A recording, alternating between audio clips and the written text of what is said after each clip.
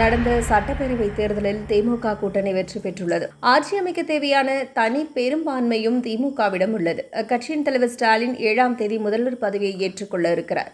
சட்டப்பேரவை தேர்தலை சந்திப்பதற்காக அதிமுகவும் திமுகவும் வாக்காளர்களை கவரும் விதமாக ஏராளமான வாக்குறுதிகளை கொடுத்திருந்தன தற்போது தேர்தலில் திமுக வெற்றி பெற்று ஆட்சி அமைப்பதால் இந்த வாக்குறுதிகள் அனைத்தையும் நிறைவேற்றும் பொறுப்பு தமிழகத்தில் முதல் முறையாக முதல்வராக பொறுப்பேற்கவிருக்கும் ஸ்டாலினுக்கு உள்ளது. பொதுவாக புதிய முதல்வர் பதவியேற்கும் போது முக்கிய ஆவணங்களில் தங்களது முதல் கையெழுத்திடுவது வழக்கம். தேர்தல் பிரச்சாரத்தின் போது உங்கள் தொகுதியில் ஸ்டாலின் என்ற கூட்டத்தின் வாயிலாக கோரிக்கை மனுக்கள் அடங்கிய ஒரு பெட்டி வைக்கப்பட்டு அதில் பொதுமக்களிடம் கோரிக்கை மனுக்களை ஸ்டாலின் பெற்றார்.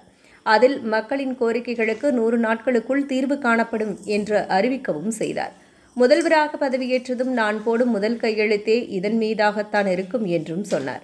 இதேபோல் திமுகவின் தேர்தல் அறிக்கை வெளியிடப்பட்ட போது அதில் பொதுமக்கள் உடனடியாக எதிர்பார்க்கக்கூடிய பல கவர்ச்சிகர அறிவிப்புகளும் இடம்பெற்றிருந்தன. அந்த முக்கிய வாக்குறுதிகள் இவைதான். கொரோனா காலத்தில் வாழ்வாதாரம் இழந்து தவித்த அரிசி அட்டை வைத்துள்ள குடும்பங்களுக்கு நிவாரணத் தொகையாக நான்காயிரம் ரூபாய் வழங்கப்படும். ஆவின் பால் லிட்டருக்கு மூன்று ரூபாய் குறைக்கப்படும்.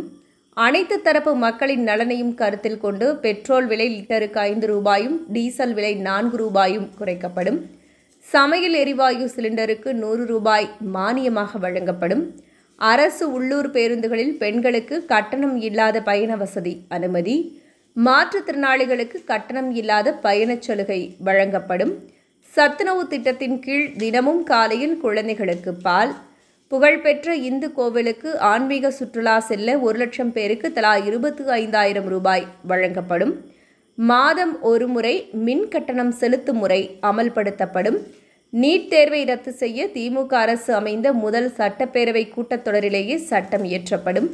முதல்வரின் நேரடி கட்டுப்பாட்டில் தனித்துறை உருவாக்கப்பட்டு உங்கள் தொகுதியில் ஸ்டாலின் என்ற திட்டத்தின் கீழ் தரப்பட்ட மக்களுக்கு நூறு நாட்களுக்குள் தீர்வு காணப்படும்.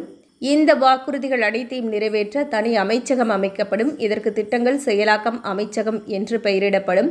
இதில் பல திட்டங்கள் நிதி சார்ந்த நெருக்கடிகளையும் சிக்கல்களையும் அன்றாடம் ஏற்படுத்தக்கூடியவை. இப்போது கொரோனா இரண்டாம் அலை பரவும் காலம் என்பதால் அரிசி அட்டை வைத்திருப்பவர்களின் முதல் எதிர்பார்ப்பு அரசிடமிருந்து நான்காயிரம் ரூபாய் எப்போது கிடைக்கும் என்பதாகத்தான் இருக்கும்.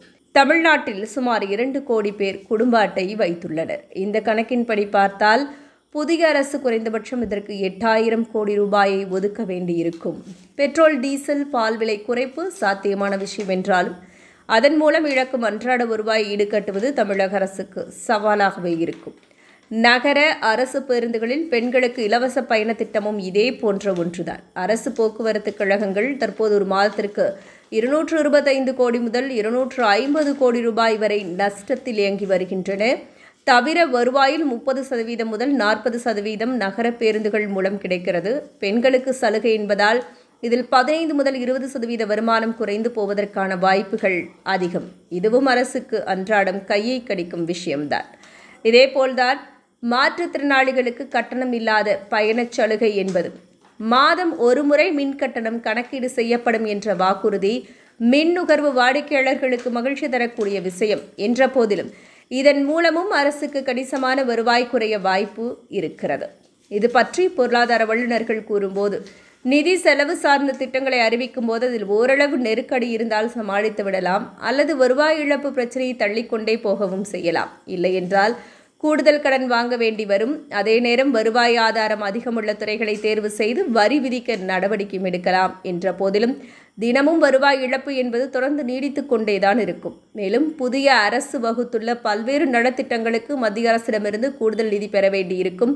எதிலும் உடனடி வரி விதிப்பு கூடுதல் கட்டணம் வசூலிப்பு என்பது முதல் ஆறு மாதங்களுக்கு இருக்காது என உறுதியாக நம்பலாம். அதே நேரம் சலுகை அளிக்கும் திட்டங்களை சற்று தாமதப்படுத்தி நடைமுறைக்கு கொண்டு வரலாம். புதிய அரசு என்ன செய்ய போகிறது என்பது தெரிந்த பின்னர்தான் இந்த சிக்கல்களையும் பிரச்சனைகளையும் அவர்கள் எப்படி சமாளிப்பார்கள் என்பதை கூறவோ கணிக்கவோ முடியும். பொதுவாகவே அதிகமான நலத்திட்டங்களை செயல்படுத்தும் போது எந்த ஒரு அரசுக்கும் நிதி நெருக்கடிகளும் சவால்களும் ஏற்படத்தான் செய்யும். அது தமிழகத்தில் பதவியேற்க உள்ள புதிய அரசுக்கும் பொருந்தும் என்று குறிப்பிட்டனர். இதுபோன்ற செய்திகளை மேலும் தெரிந்து கொள்ள எங்களது யூடியூப் ஃபேஸ்புக் மற்றும் ட்விட்டர் ஆப்களை சப்ஸ்கிரைப் செய்யவும்.